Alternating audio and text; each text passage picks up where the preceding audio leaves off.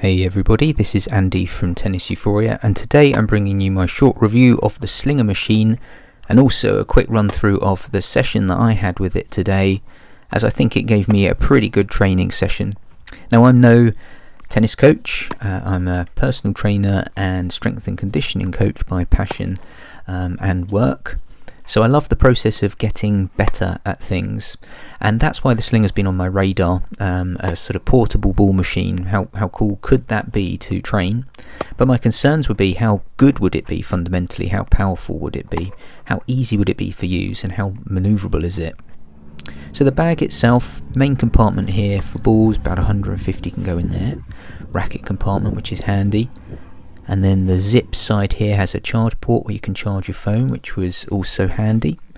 It opens up with a neat designed clip and then you have three buttons. The first looks at the frequency of the balls coming at you. The top one there is the speed of the ball. And then the third control is literally the height that the ball is released. So nice and easy. There's the control which has great range all across the court.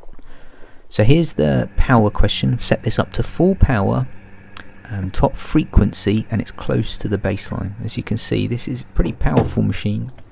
Can you get it around? So notice I've got it on the back seats. It is pretty big, but then next to other ball machines, it's really easy to move around. Not too bad getting it up and downstairs. It could probably do with some sort of handle at the front or the side. And of course when it's forward balls, I wouldn't exactly call it light, but pretty good. And of course when it's on the ground, you can move it around like a suitcase. So in terms of what I did with it today and was it a good session for me, as I say, I'm no tennis coach, but I've got an idea as to the things that I wanted to work on. First of all, I just wanted to set it up actually with some relatively good rotation. So I've got a relatively high trajectory on the ball. This is under half power and I just wanted to practice um, backhands that were coming at me with relatively good spin. Now in hindsight I probably would have put up the power a little bit more to get a bit more depth on these but it served a purpose. I was able to hit I think I did this twice so 300 balls on my backhand just drilling you know great what's not to like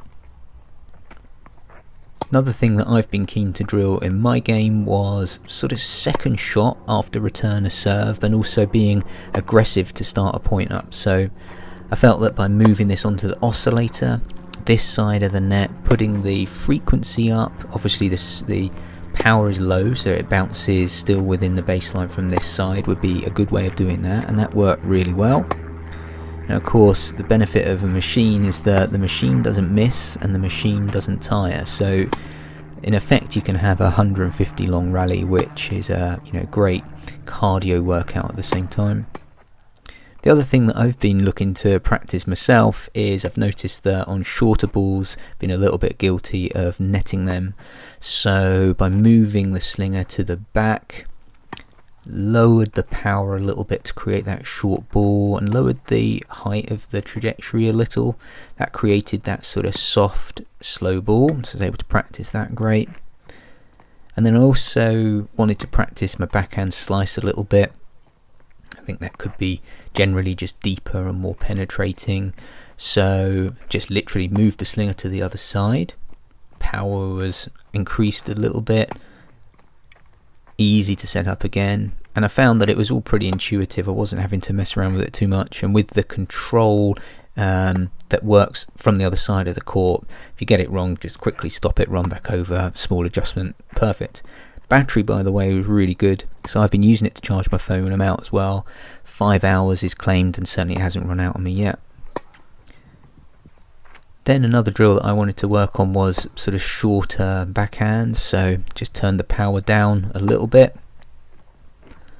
And again, mine came with a ball picker-upper, which was really helpful, so ran around, put it in, within a minute was hitting again. And again, the benefit I guess of a machine is that it doesn't miss and it doesn't run out of energy until the battery goes so you get a really good consistent drilling session.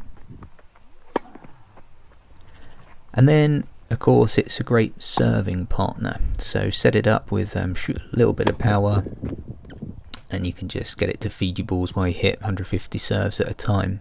So there's not a lot not to like.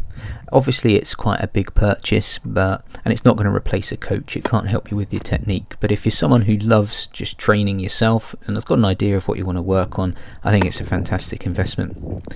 Hope you liked this review. There's some more racket reviews coming. I've obviously been busy at work recently, and this channel, while I love it, doesn't pay the bills, so I'll do them as soon as I can. But I hope this was helpful. If it was, give it a like. Uh, thumbs ups are always helpful, and be interested to see if you've been using Slinger.